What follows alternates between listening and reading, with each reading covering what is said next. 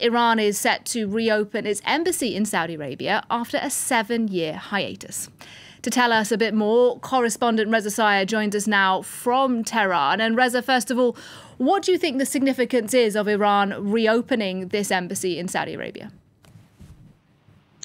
Yeah, this is another step uh, in Iran and Saudi Arabia, the process of being friends again. The last time Iran had a functioning embassy in Riyadh was back in uh, 2016, roughly seven years later. They are reopening the doors to their embassy in Riyadh, reopening their consulate uh, general in Jeddah, and also reopening their permanent mission to the Organization of Islamic Cooperation uh, in uh, Jeddah. According to Iran's foreign ministry, the opening of these three posts will happen today and tomorrow.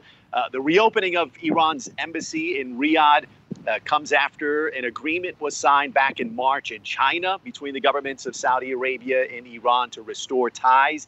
That has been big news here in Iran and the region. Iranian state media, Iranian leaders uh, depicting the restoration of ties between Riyadh and Tehran as a major step in restabilizing and bringing peace to a region uh, where both Saudi Arabia and Iran play key roles in energy, security, and the economy.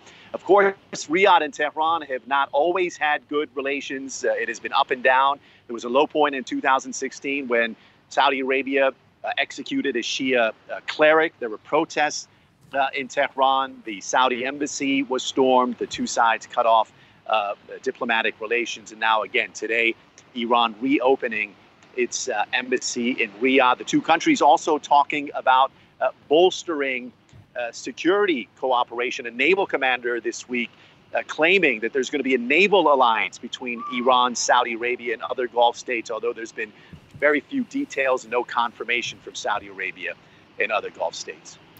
And Reza, what impact might this rapprochement have, um, not just on Iran and Saudi Arabia themselves, but perhaps on the wider region?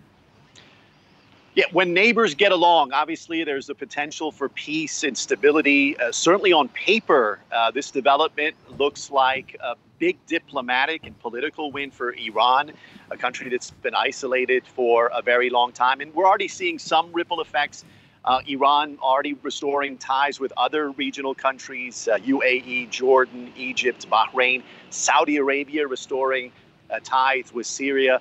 Both these countries have influence in places like Yemen and Lebanon, so the potential of peace and stability in those countries. Uh, this seemingly undermines uh, Israel's efforts to isolate Iran, and it, it brings to question uh, America's role in the region. Washington has always viewed itself as the mediator, as the regional uh, police. Uh, with the restoration of ties between countries like Iran and Saudi Arabia and talk of security alliances, it brings to question uh, what, uh, what Washington's role is going to be moving forward in what seems increasingly to be a multipolar world.